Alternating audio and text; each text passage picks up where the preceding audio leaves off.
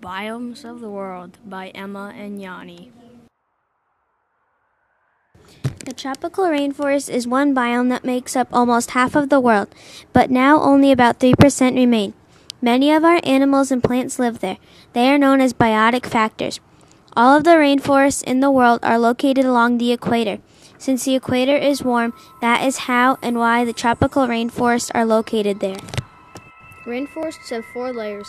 The first layer is the emergent layer. Giant trees grow above the dense canopy layer and have mushroom shaped tops.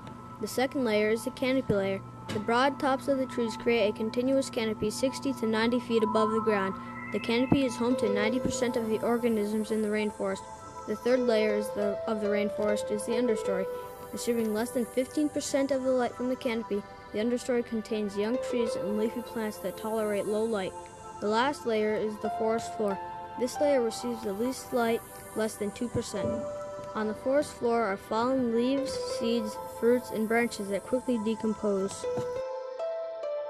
The animals in the rainforest are known as biotic factors.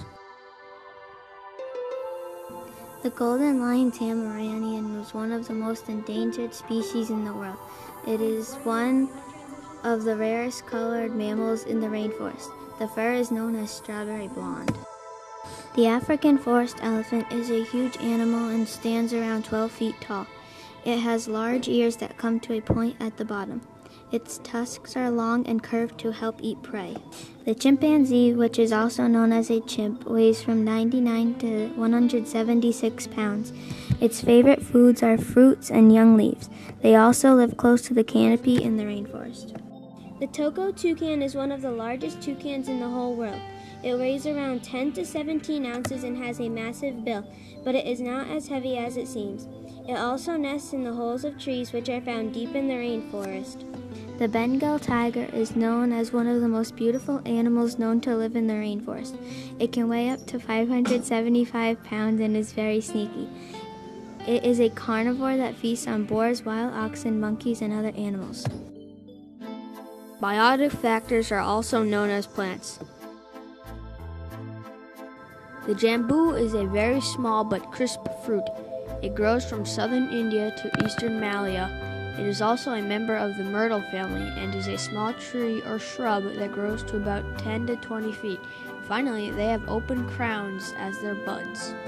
Strangler figs are one of the most important plant species in the rainforest environment. Pigeons, parrots, hornbills, toucans, monkeys, gibbons, and fruiting bats feed on the fig fruit. 70% of the rainforest herbivores rely on the fig tree for food. Mangroves are woody trees. They are the only plant in the rainforest that can live where the rainforests meet ocean water. Mangroves are found on sheltered coastlines and river deltas and can grow on the wetland between land and sea.